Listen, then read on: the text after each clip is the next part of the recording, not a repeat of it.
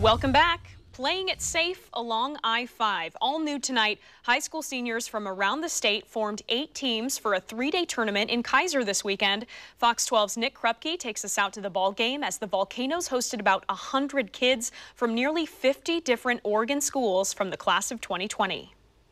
After a lost spring, the Salem Keizer Volcanoes wanted to help make sure this wasn't a completely lost summer.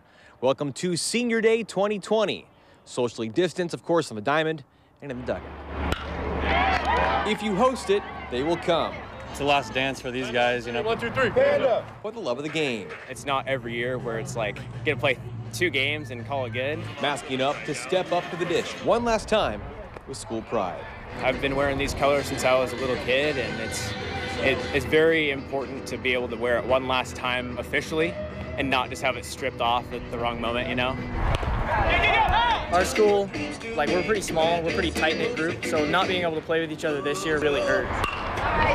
Foul balls were sanitized, the grandstands were capped at 250. Shuffling grateful friends and family completely in, then out through the turnstiles between Saturday's quadruple header. You know, being able to play with my teammates that I've been playing with for four years.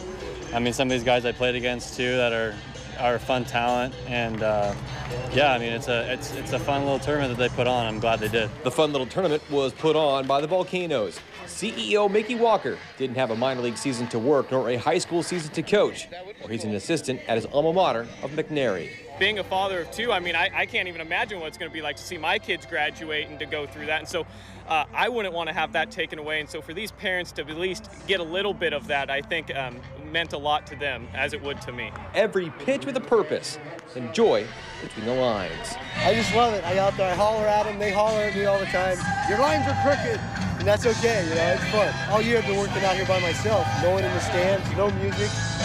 Today, sun, music. It's a holiday. Yes, this is awesome. While one summer weekend doesn't make up for an entire lost season, it sure goes a long way in having a little closure to their senior swan song that never got in tune.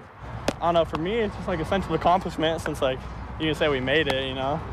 But it just sucks to have the senior season taken away from you. No, I just got them. Because we've been playing together since fourth grade. All the same people have been playing together, all, our, all my friends. A couple games is better than no games at all.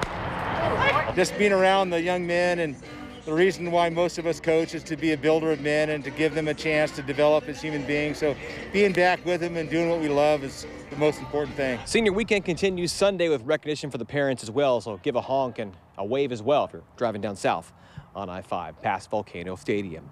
In Keizer, Nick Krupke, Fox 12 Oregon.